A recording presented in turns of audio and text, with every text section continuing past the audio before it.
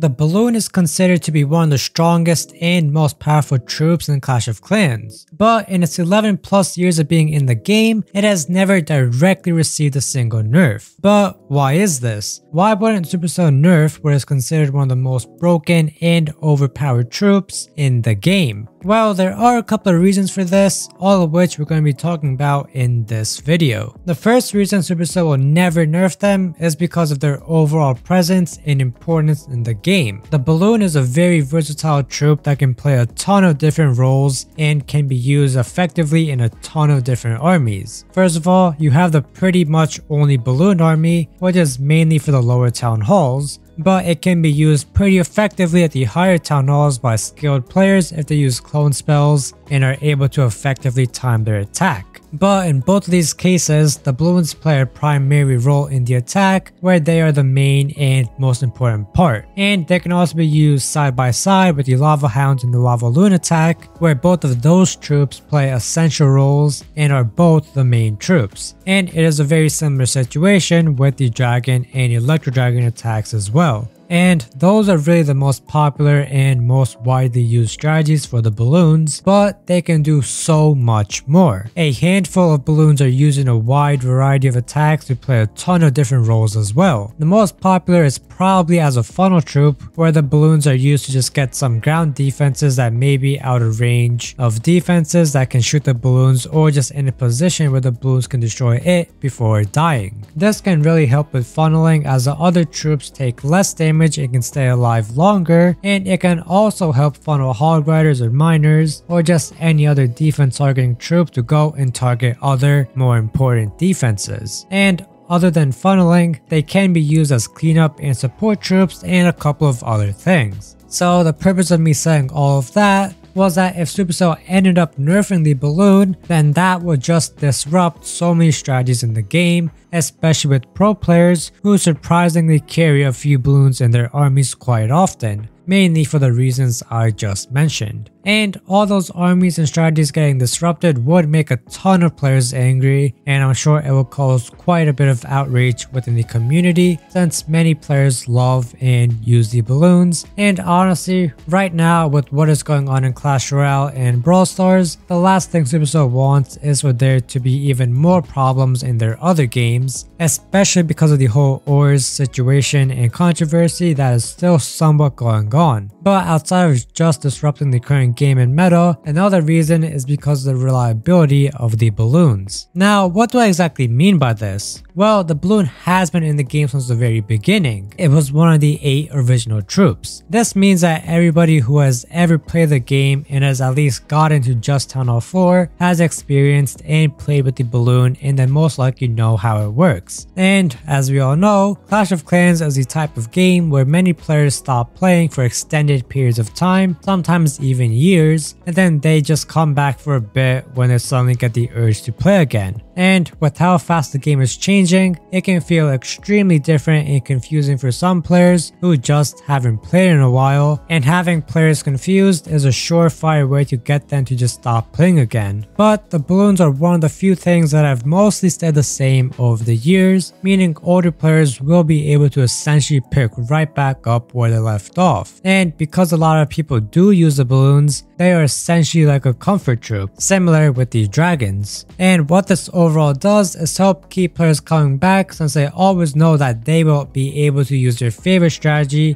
and won't have to try and come up with or learn something else because what they used to do got nerfed and is no longer viable. And I think that this is really a key part in why Clash of Clans has been so successful for as long as it has. But another reason Supercell is never going to nerf the balloons is because they already nerfed them. Now, I know this doesn't really make sense because the balloon hasn't received any nerfs to its stats. In fact, it has only received some minor buffs over the years. But as I had mentioned earlier, Supercell has never directly nerfed them. Instead, all of the nerfs have been indirect. So So let's go over a couple of them. First of all, you have the addition of the air bombs and seeking air mines in February of 2013. These were added because the balloons and dragons were insanely overpowered and there were basically no counters to air troops at this time. And while you can argue that the air bomb wasn't too big of a deal, the seeking air mines on the other hand were a whole nother story. As you know and have probably painfully experienced, a single seeking air mine can just obliterate a group of balloons flying close together, and this in some cases can absolutely ruin the attack, especially in the lava balloon strategy since the balloons are the majority of the damage in the strategy.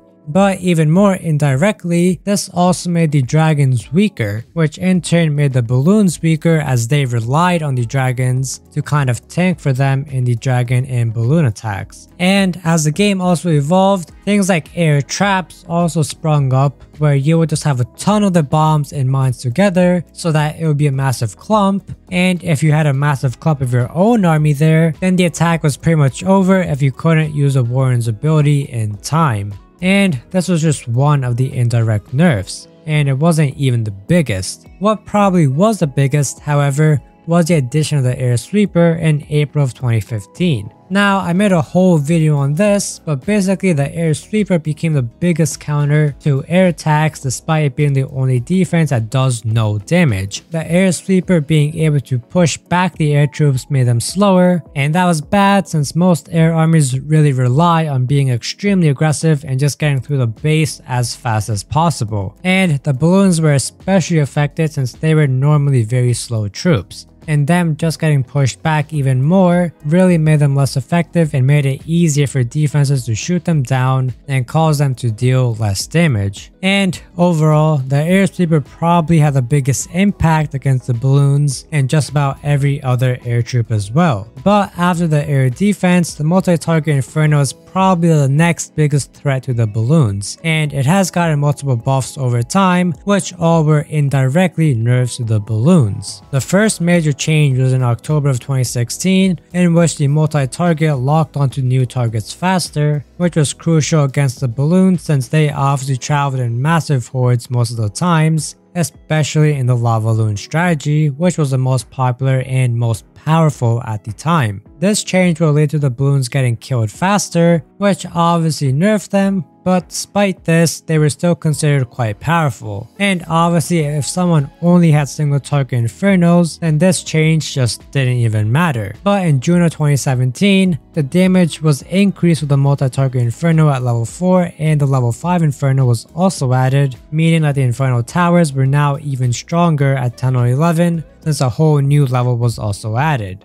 And this once again helped nerf the lava balloon strategy and mass balloon strategy. And in 2018, the Inferno Tower just got so many buffs, and this was possibly one of the worst years for the balloons. First of all, they got two separate damage buffs for the higher levels around town halls 10 and 11, and then their range also got increased a few months later, which meant that they could start damaging the balloons sooner, which was great as it bought them more time to deal even more damage since the balloons typically moved pretty slowly. So just a one tile increase made a considerable difference. And then what is probably the biggest change was that a third Inferno Tower got added, and this meant you could now have three Infernos set to multi-target, which in some cases, depending on the base, was enough to prevent any balloon balloon attacks just because of how hard it was to attack three multi-target infernos if your primary troop was the balloon. And so with all of these changes, the balloon has actually been heavily nerfed. But it is still a very good troop and is very viable in a ton of strategies like I mentioned earlier. But the final reason why Supercell will never directly nerf the balloon is just because everyone loves it. And this is kind of similar to what I had said earlier about them being reliable, but this takes it a little farther. The balloon has proven to be one of the most famous troops in the game and it is so iconic that the lava balloon strategy was turned into a single trope during the Halloween Mashup Madness event in October of last year. This was one of the best events that Clash of Clans has ever had and a big reason for that was the lava balloon troop that combined the lava hound and balloons. This was an extremely powerful and truly broken troop that just led to so many 3 stars and so much fun for all the players. And this would never have happened happen if Supercell ended up nerfing the balloons to a point where people didn't like them. And that even also brought a lot of the older players back into the game, which ties into what I said earlier about the balloons being good for player retention. And this concept can also be proven by the new event in February,